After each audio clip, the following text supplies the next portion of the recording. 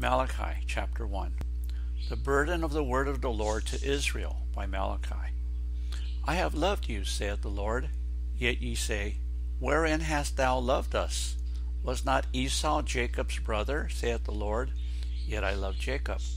And I hated Esau, and laid his mountains and his heritage waste for the dragons of the wilderness. Whereas Edom saith, We are impoverished, but we will return and build the desolate places.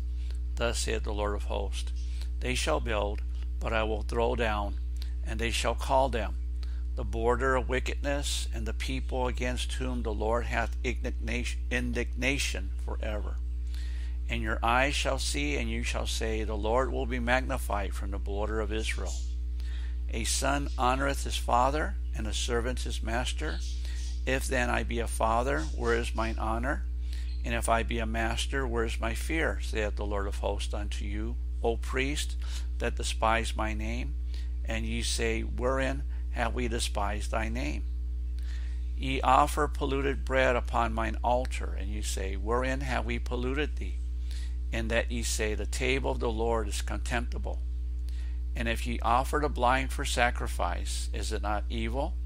And if ye offer the lame and sick, is it not evil? Offer it now unto thy governor. Will he be pleased with thee, or accept thy person, saith the Lord of hosts? And now I pray you, beseech God that he will be gracious unto us, that hath been by your means. Will he regard your person, saith the Lord of hosts? Who is there even among you that would shut the door for naught? Neither do ye kindle fire on mine altar for naught. I have no pleasure in you, saith the Lord of hosts, neither will I accept an offering at your hand. For from the rising of the sun even unto the going down of the same, my name shall be great among the Gentiles, and in every place incense shall be offered unto my name, and a pure offering. For my name shall be great among the heathen, saith the Lord of hosts. But ye have profaned it, and that ye say, The table of the Lord is polluted, and the fruit thereof, even his meat, is contemptible. Ye said also, Behold, what a weariness it is, and ye have stiff, snuffed at it, said the Lord of hosts and ye brought that which was torn, and the lame, and the sick. Thus ye brought an offering.